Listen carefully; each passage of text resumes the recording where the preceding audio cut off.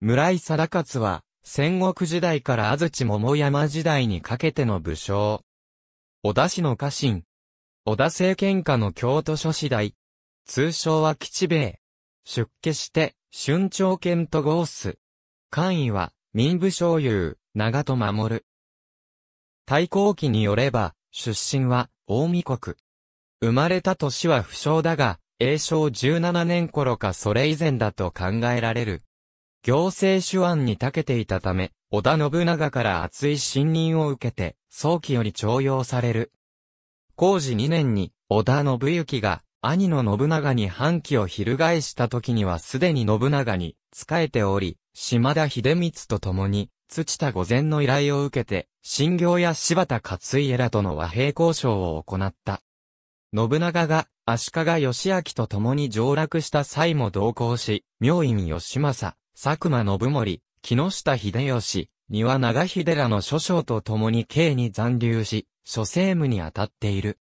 西見の三人修行遊の際の人質受け取りや、足利義明の庇護、上洛後の二条城の造営、その他社寺との折衝など、小田家の政務を担う。浅山日常と共に、京都御所の修築も担当している。足利義明を追放した信長が京都を完全支配下に置いた後、天正元年7月、信長より、京都諸次第に任ぜられる。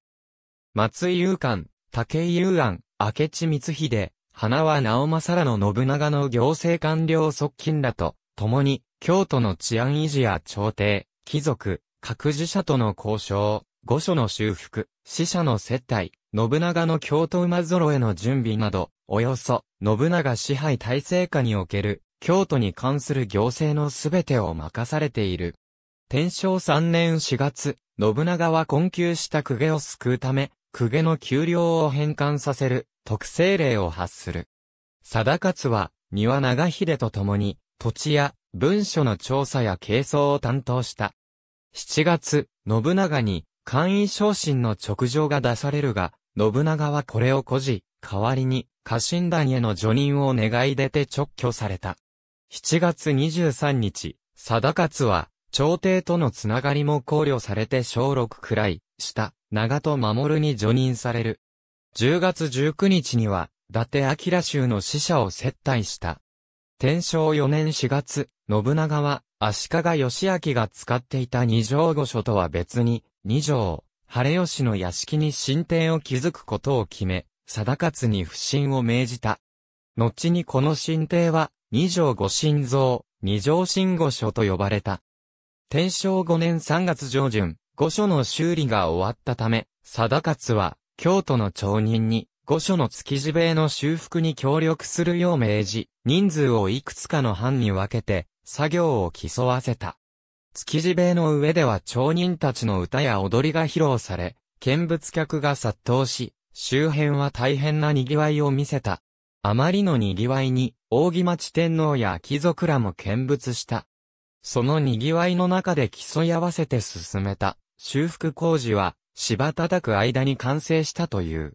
天正8年2月26日、信長は京都での居住場所本能寺に移すことに決め、貞勝に不信を命じた。